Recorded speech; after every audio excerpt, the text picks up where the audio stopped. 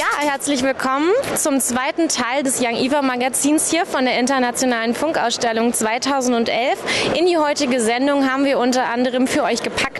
Wir haben kuriose Technikspielereien hier auf der IFA für euch entdeckt und wollen auch einfach mal hinter die Kulissen der IFA schauen, um zu erfahren, wie so eine riesige Veranstaltung überhaupt geplant und organisiert wird.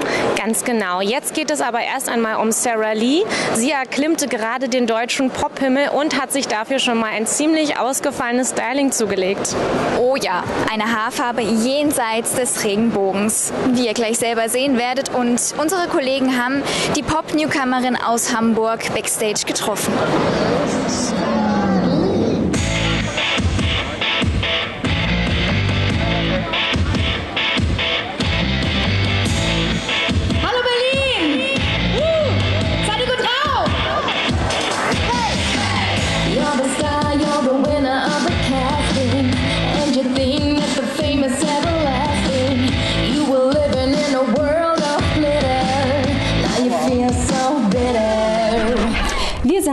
Backstage im Sommergarten der IFA und äh, vor mir steht die talentierte Sängerin Sarah Lee, die gleich ihren Auftritt hat. Hallo Sarah, wie geht's? Hallo, mir geht's gut. Ich bin so ein bisschen aufgeregt, aber ähm, ja, ich freue mich einfach, wenn ich gleich auf der Bühne stehe und einfach singen kann und Party machen kann. Okay, du siehst top gestylt, sehr schön. Mich interessiert, äh, wie viel Zeit braucht man, um, um so auszusehen? Also ich komme aus Hamburg und bin jetzt drei Stunden hierher gefahren und ich habe mich eigentlich äh, während der Autofahrt ähm, ja, hauptsächlich fertig gemacht. Jetzt natürlich hier nochmal den letzten Schliff, aber ich bin immer so, ich schlafe immer bis, zum Letz-, bis zur letzten Minute und mache mich auf der Autofahrt fertig und hier dann nochmal den Rest. Also ja, Also hast, hast du alles alleine gemacht? alles alleine. Okay, wie groß sind deine Schuhe? Ja, meine Schuhe, also ich würde mal schätzen so um die 12, 13 Zentimeter. Wie groß bist du? Nur 1,60, deswegen trage ich sie. Alles klar, ist es bequem zu tanzen? äh, nee, ganz ehrlich, äh, überhaupt nicht. Ähm, das ist immer der Nachteil der Frau. Frauen müssen immer hohe Schuhe anziehen. Ich wäre auch froh, wenn ich wie meine Tänzer nur Turnschuhe anziehen könnte, aber ach mein Gott, ich meine, wenn es nur das ist. Hohe Schuhe sehen ja Gott sei Dank äh, dafür gut aus. Berlin! Seid ihr gut drauf? Uh, das war auf jeden Fall sehr überzeugend.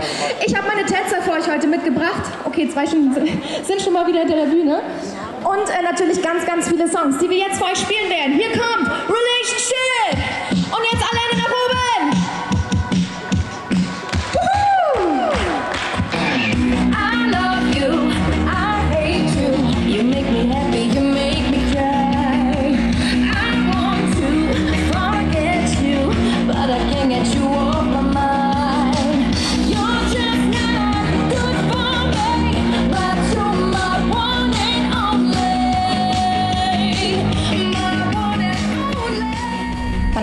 Aufregendster Gig, ähm, das war jetzt vor kurzem. Also ich bin ja ähm, bei dem Marco Hook, bei dem Boxer aufgetreten und habe seine Einmarschhymne gesungen bei der ARD. Jetzt am 16.07. war der.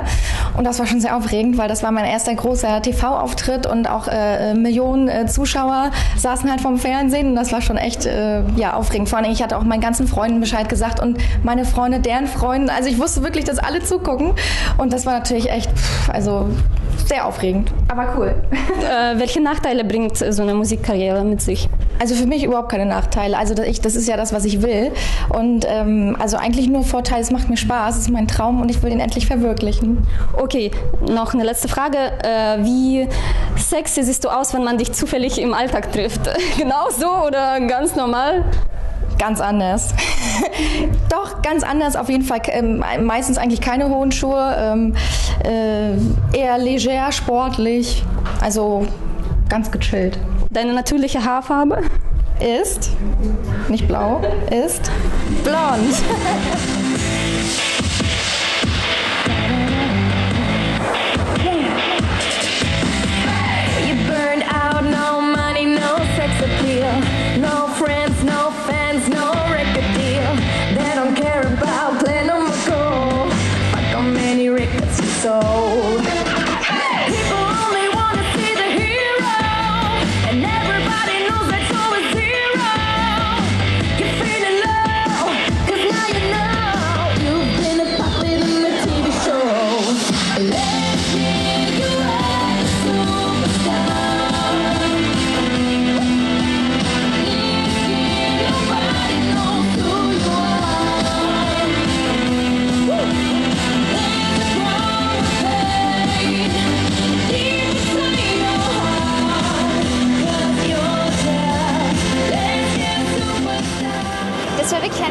Performance von Sarah Lee. Sag mal, weißt du, was das hier eigentlich ist? Also es sieht aus wie ein Bildschirm, aber wofür genau, muss ich ehrlich gesagt passen. Keine Ahnung. Ich glaube, Helena hat sich die gleiche Frage gestellt.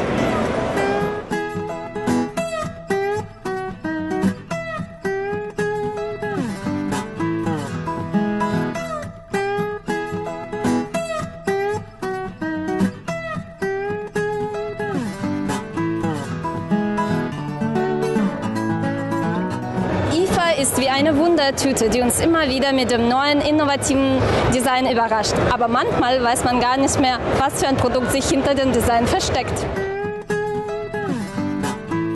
Haben Sie eine Idee, was das für ein Produkt sein könnte? Sieht aus wie ein Staubsauger. I would say it's a radio. Keine Ahnung. An iPod docking station? What do you think, what is it? Uh, I think it's a speaker. For a microphone? Das könnte ein Mikrofon sein. I don't know, for bird voices. So in etwa, so da einfach reinsprechen. Boxe. and has a daisy chain effect feature where you could loop them around and will all play the music at the same time. Ups, und wonach sieht das denn aus? Also ich würde sagen, das ist auf jeden Fall etwas äh, nur für Frauen. Aber doch nicht das, was ihr denkt. Die Messebesucher dazu natürlich noch vieles mehr anschauen können, leisten die Veranstalter schon zwei Jahre vorher wirklich Schwerstarbeit, wenn es darum geht, wieder die IFA zu organisieren.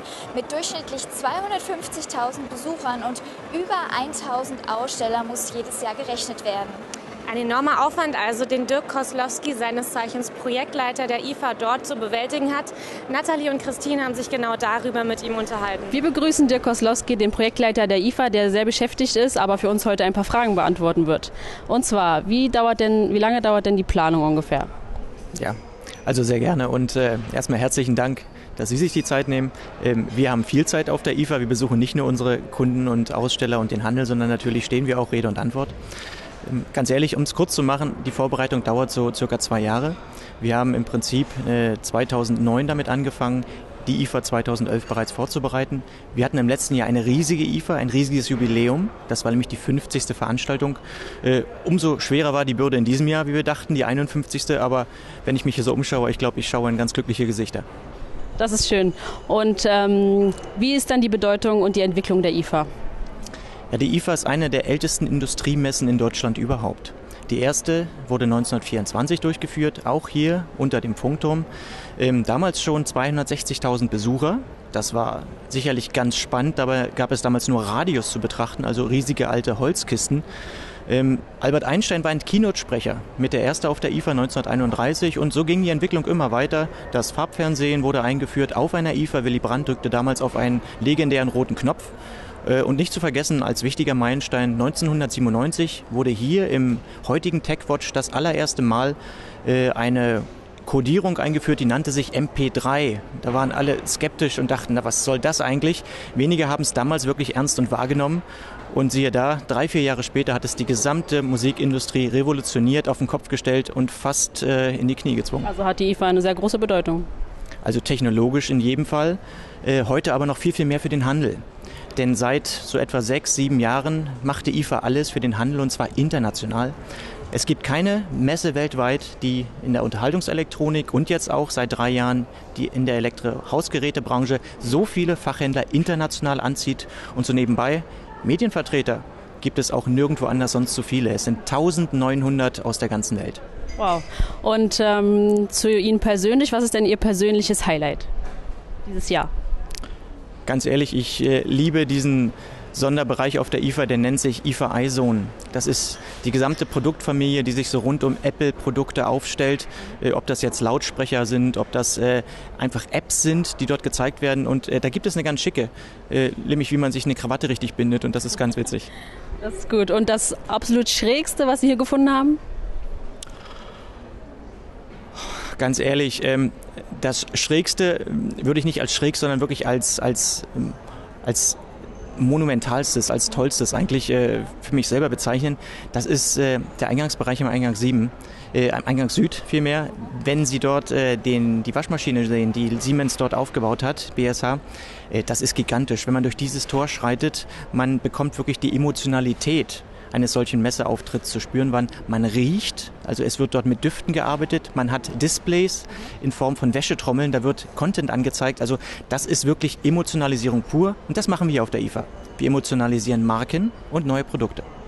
Super, dann wünsche ich Ihnen viel Spaß und äh, ich bedanke mich recht herzlich, dass Sie so viel Zeit für uns hatten. Dankeschön. Ja, was wäre eine große deutsche Messe ohne Oktoberfest? Gar nichts.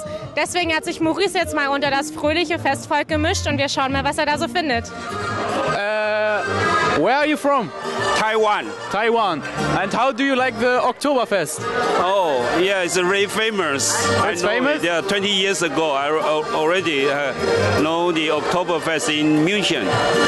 And what are you eating? Uh, Haxen. Haxen? Yes, and uh, Weiss, Weißwurst. Weißwurst? Yeah. Very good. How do you like the music? Yeah, uh, it's very good. And also, uh, I think it's very traditional, very traditional German song. Okay. Yeah. yeah. Okay. Make, make you uh, happy and enjoy. So, sometimes for this music in Germany, the people do that and then do that. Wo kommen Sie her? Wir kommen aus Betzdorf. Betzdorf, wo liegt das? Äh, sagen wir mal so, äh, dort werden die Wolf-Rasenmäher hergestellt, wenn sich das was sagt, die Gelb-Roten, Rheinland-Pfalz. Oh, Rheinland-Pfalz, okay. Und ähm, was machen Sie hier auf der IFA? Ja, angucken, ne? Alles so mal. Und da muss man auch beim Oktoberfest gewesen sein. Ja gut, das hat sich so ergeben, ne? Also, Okay. Und das Bier schmeckt? das schmeckt, das ist aus München. Und essen Sie auch noch was? Nein. Nichts essen. Der junge Mann aus Taiwan da vorne isst Haxe, aber das ist nichts für Sie. Nein, ich muss auf die Linie achten. okay. Okay, dann ähm, wie lange bleiben Sie noch auf der IFA? Nur heute. Nur heute. Und sonst in Berlin noch oder? Ja. Morgen fahren wir zurück. Dann äh, Dankeschön. Okay, das war's vom Oktoberfest. Ja, so als Messebesucher wird man ja hier mit unzähligen solcher Werbetüten zugeschüttet. Unser Reporter Maurice hat sich mal angeschaut, was sich denn da so drin befindet. Gibt's hier was umsonst? Nein, nein. Was haben Sie so in Ihrer Tüte drin? Ist mit dir. Können wir mal reingucken? Ja, bitteschön. Na, Informationsmaterial. You wanna say something? No. No? I got a lot of press kits and press materials. Tüten gesehen, ehrlich gesagt. Geil. Holger, wie war der Tag? Einwandfrei. Ja, das war ein langer Tag auf der IFA. Wir haben viel gesehen, viele Tüten, sind viel rumgelaufen und jetzt äh, machen Vivi, Tatjana, Sophie und ich Pause und Schluss für heute. Tschüss. Tja, und unsere Sendung ist jetzt aber leider am Ende angekommen und wir müssen uns von euch verabschieden. Genau, morgen begrüßen euch dafür an dieser Stelle Lara und Helena. Wir würden uns sehr freuen, wenn ihr morgen wieder einschaltet um Viertel vor neun im Alex. Und wenn ihr euch die ganze Sendung noch mal anschauen wollt, dann tut das doch bitte auf unserem YouTube-Channel.